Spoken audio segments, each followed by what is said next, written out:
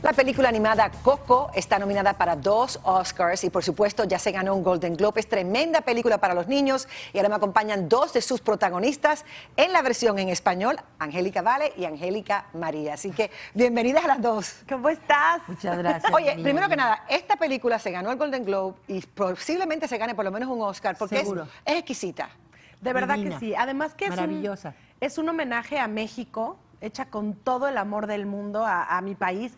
Y yo digo que en eso no nada El más... amor y el respeto, además. Es lo más importante. bellísima. sí. Y yo digo que no nada más se queda ahí, ¿no? Porque aunque sí es una fiesta muy mexicana, el Día de Muertos, creo que habla de la unión familiar y de tantas cosas que nos unen como latinos, ¿no? Más allá de qué país vengas. No, y ese tema de la vida y la muerte es un tema universal. Exacto. Entonces yo creo que por eso ha tenido el éxito que ha tenido y, y- y está hermosa la película, muy divertida. Tú estás muerta y eres Sí. la abuela, perdón, mamá Imelda. Mamá y Imelda. La abuela de tu personaje que es la abuela, Abuela de la chancleta, que es la que tiene la chancleta y le Sí, pega a todo el mundo. Exactamente. Ok, estamos claros. Pero eso es lo lindo que tiene la película, que trata de generación en generación y cómo continúan, incluso después de la muerte, conectadas a través de la cultura y la tradición. Así es. Así Y habla de un matriarcado que también se da mucho. En ¿Y por qué será? ¿De dónde será ese matriarcado, verdad? sé, Qué coincidencia. Será? Qué bárbaro. Pero ya tú habías hecho una película animada anteriormente. Había, sí, pero no con Disney. Creo que el, el hacer una película animada con Disney es como llegar a otro, a otro nivel, ¿no? Y era un sueño que yo tenía desde que era niña y se me cumplió, insisto, con la mejor película. Debo, debo confesar que mi sueño es hacer la voz de una película animada. Así Ah, que, ¿ya ves? Es que Disney, sí, ¿verdad? ¿Ya aquí ves? estoy disponible para lo que sea. Sí, yo, Yo desde te- te paso el contacto, desde, desde Cenicienta, desde que era yo niña, quería hacerlo.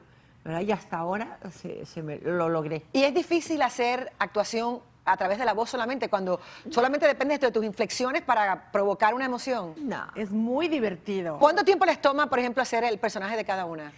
Bueno, mi personaje tomó un poquito más porque... Es más grande. Es más grande. Yo Más todo largo. el día me lo aventé ahí. Bueno, desde la mañana hasta que tuve que ir a recoger a mis hijos a la escuela. ¿En un solo día? Sí, en un solo día y el otro día fue la canción. Pero mi mamá sí menos. Yo como ¿Cuatro? cuatro horas. Qué emocionante. Y lo hicieron en diferentes partes, una en México y otra en Los Ángeles. Sí. Sí. Ella en Los Ángeles y yo en ¿Y estos son tus niños Esos son mis bebos. que vieron la película y qué dijeron? Ah, Cuéntame. no, imagínate. Bueno, Bueno, se primero, la saben todas, la cantan todas. Imagínense, con todas las cosas que, que han hecho ustedes y esta generación de los pequeñitos las va a recordar por esta película. Qué maravilla, ¿no? precisamente por Sí. eso quería hacerla. Precisamente Y estos son sus personajes, estamos Mira, viendo- Ahí estás, Sí, ahí estás de mamá Y ya Imelda. vimos la tuya de- también, De la la también. abuelita. Esa es la abuelita. Me encanta. ¿Y por qué, y por qué da chancletazos? Cuéntame. Ah, porque así es como corrige. Eh, así que Eh, imparte el no, orden. no, no, no, no, no más música. No. Y la voz acá abajo y no más música. Y los chanclazos al niño y todo un... Ella imp- imparte el orden con la chancleta. Pero luego me pongo dulce chiquitito, tan bonito. Es- Esas son las abuelas, esas son Ahí las abuelas. Esas son las abuelas a las que hay que tenerle miedo. Yo tenía una así. Pues no, mi mamá es más consentidora, ¿eh? Que, que- que no hay chancletazos. Gracias a Dios no hubo chancletazos conmigo ni con mis nietos. Oye, bueno, pues yo les deseo la mejor de la suerte. Vamos a estar bien pendientes de ese Oscar. Y bueno, si se lo ganan, es de ustedes también, sin lugar a dudas. Ah, sí, claro. Gracias por haber venido al show. Es lo más Muchas cerca que he estado de un Oscar, así que sí, me lo voy a creer. Ah, buenísimo. Más nos vale, más nos vale. Gracias. A ustedes. Cambiando de tema, la super serie de Telemundo, al otro lado del muro, está encendiendo la pantalla de nuestra cadena todas las noches. Y una de las grandes estrellas de esta producción es el galán Gabriel Porras, que interpreta al gobernador Ernesto Martínez, un político como muchos, carismático y calculador, casado por conveniencia con esta popular ex reina de belleza, interpretada por Marjorie de Sousa, que le brinda la perfecta imagen pública que tanto necesita para su carrera política, la familia perfecta, pero sin duda la vida de él está muy lejos de ser perfecta, y aquí está Gabriel Porras. Ay, María Celeste, ay, ¿qué les puedo yo decir? Nos juzgan mucho a nosotros los políticos, pero lo que queremos es el bienestar social y el de nuestra familia, nada más. Sí, sobre todo mientras está teniendo a la par un negocio de trata de menores, que es lo que pasa aquí. Es un, es un personaje corrupto y, y sin duda complejo es tu personaje. Sumamente complejo. Es que ahorita el mundo está en un momento bien complicado, María Celeste. Todos los políticos, ayer Vladimir Putin dijo que tenía un misiles nucleares que pueden llegar a cualquier lado y señaló la Florida.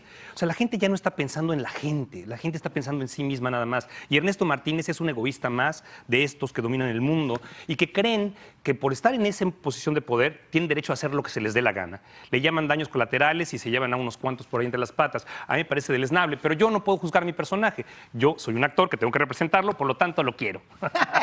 yo también lo quiero muchísimo porque lo que me gusta de tu personaje es que tú has sabido magistralmente cómo eh, tener personajes que se diferencian uno del otro. Hay actores que yo los veo que como que tú le ves más de lo mismo en todos los personajes. En tus personajes eh, no es así. Tú te, tú te entregas, lo identificas bien y se ve una historia completamente distinta.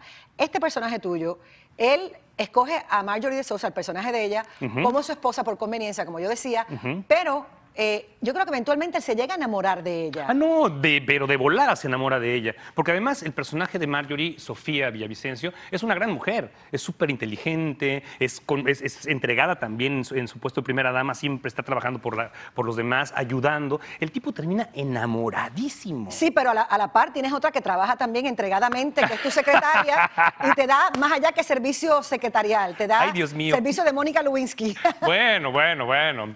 Este, ya saben que en la política siempre ha habido este tipo de cosas también. Bueno, Gabriela Vergara precisamente es como el cerebro malévolo de toda la organización.